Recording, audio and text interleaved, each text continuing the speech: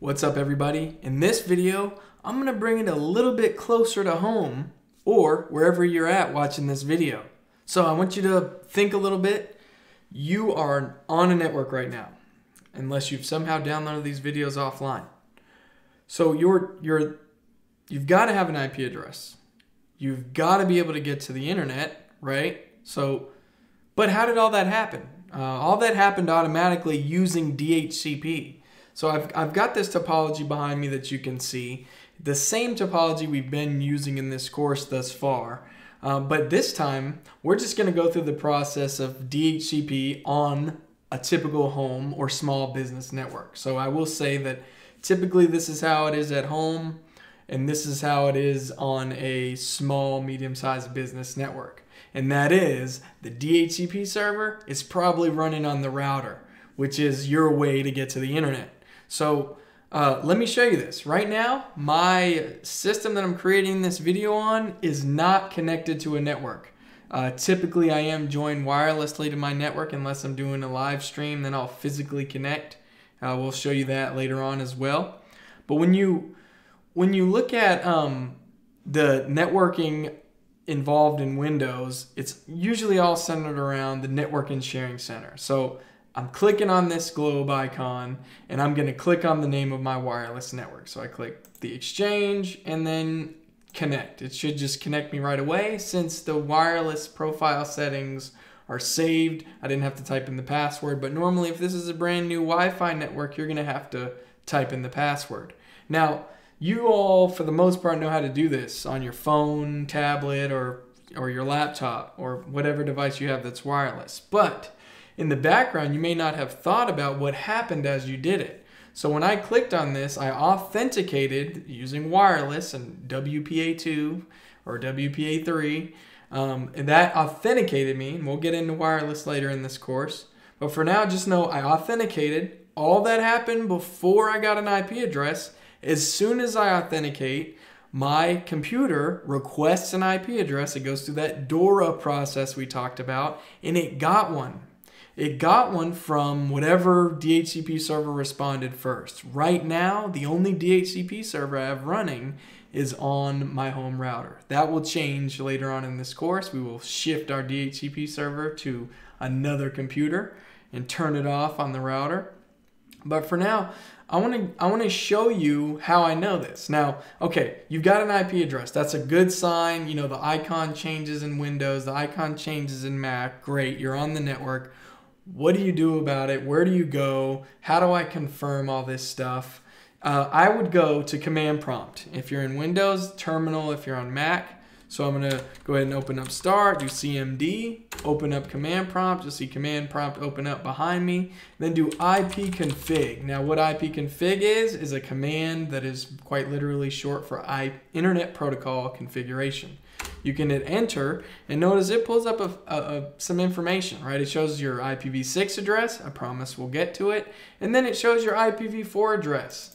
This is a good sign that I have an address that is 10388. Now that's my internal network scheme. Earlier we were using 192.168.0.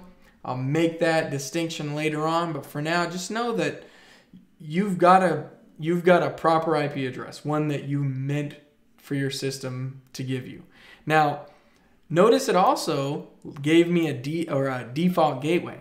Now the default gateway is the IP address for the router. And what happens with the default gateway is anytime traffic needs to travel to a network outside of my own, the default gateway is used. So it's essentially like my computer looks at its own what's called routing table. And you can see that by doing netstat-r.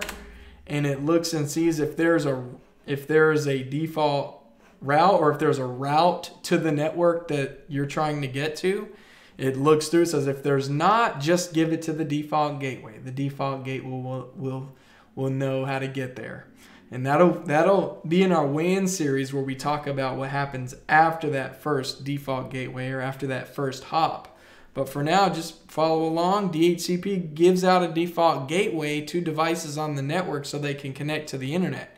Because if if you can have your network up and running, but if DHCP is not leasing out a default gateway address for those clients to point to, then whatever clients don't have the default gateway are going to not be able to get to the internet.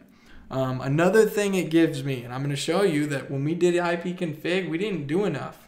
So if you do IP config space forward slash all, it will show you a lot more information, right? It'll show you your NIC, the MAC address, all of that. And we'll talk about the MAC address.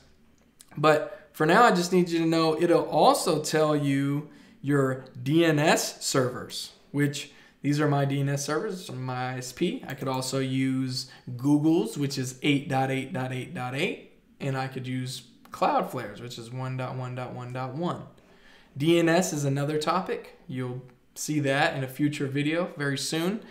Um, this, keep in mind, all this has to be leased out from DHCP. DHCP has to give a DNS address, it has to give a default gateway, and it has to give an IP address. Now, I will say that this IP address up here, it should not be shared by any other device on the network. But you will notice that the default gateway will be shared by just about all the devices on your network. Uh, so will the DNS servers because they're pointing to another device on the network that is doing that function. So they're pointing to the default gateway, which is doing a, a routing function.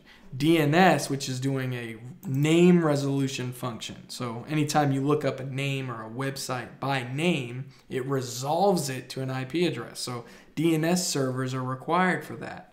Um, now, back to DHCP, you may wonder, okay, so then where are these settings? Where, I mean, how could I change them? I mean, you might look at this and see that you have a 192.168.1 or .0, and you're like, well, how did you get yours to be different? Well, I'll show you. Now, this is a word of warning here. Open up a browser.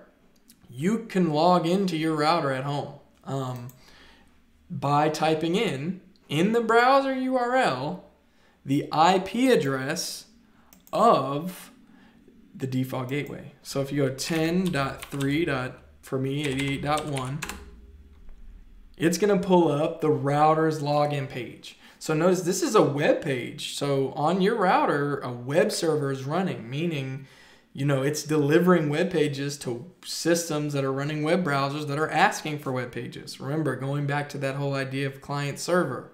The server services request, clients request services. So, so it's in software. So username typically is admin. Now here's a security thing.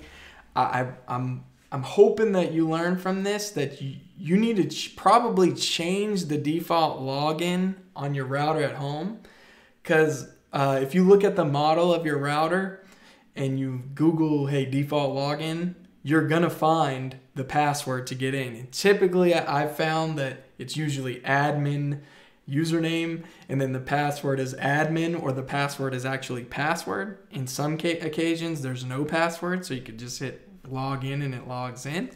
What this uh, means is anyone on your network that knows what they're doing can actually log into your router. Um, and if they know, if they're advanced, they can direct traffic wherever they want or even establish a foothold on your network. So, in your business or in a small business or in your home, it's very important that you change this. So, I have changed this. I'm gonna go ahead and log in now. So, I went ahead and logged in using password that's different. You'll notice that there's connected devices. So, your router login has some intelligence about your network. It shows the IP schemes, it shows everything you have in place. So what I'm going to show you here is where you would go to kind of see what you could do and this is just on my router, but for yours, somewhere there's going to be a network or LAN settings or local IP network settings that's going to show you where you can change DHCP settings. So I'm going to go to local IP network. Notice right here in front of you, these are the DHCP settings, right? So I've got it enabled. When I when I go to add a my own server on this network, something that's not on the router, I'm going to disable this and let the DHCP server handle those requests. But right now, the router handles those requests. It's important for you to keep track of this. Uh, let me tell you why. Uh, because someone could have a Raspberry Pi, sneak it into a, a business's network, plug it in, and that Raspberry Pi starts leasing out IP addresses. So computers on a business network or on your home network could actually be getting IP addresses from a rogue device.